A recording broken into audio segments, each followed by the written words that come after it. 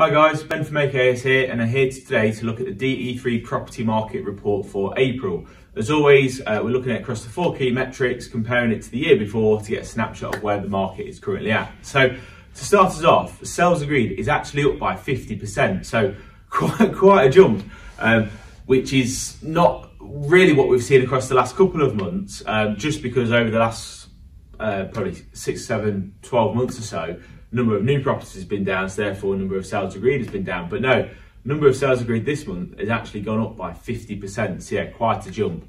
But still the issue is new properties coming onto the market. So that is still down by 17%. Um, I think it's kind of over the last couple of months it's touched to being about similar levels, but yeah, no, it's dropping down again slightly.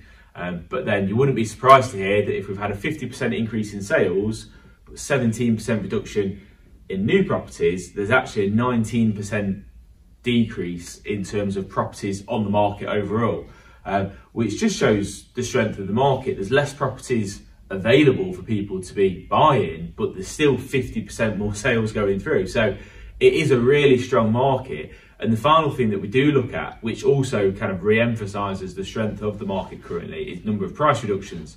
And again, month on month, it's always been the same. It's down by 17%. So again, there's still less people having to reduce their price. Um, and like I said, that shows the strength of the market because if you're putting your property on the market at the right sort of price, we are seeing it sell.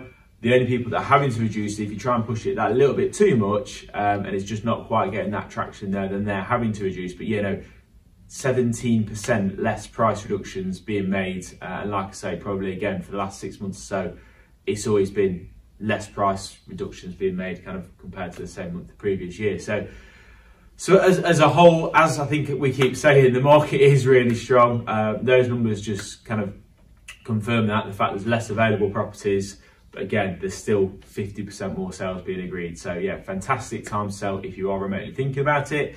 If you have any specific questions on your property or have any questions about these stats or, or kind of yeah anything more about the local area, please do just get in touch with us and I will see you next month.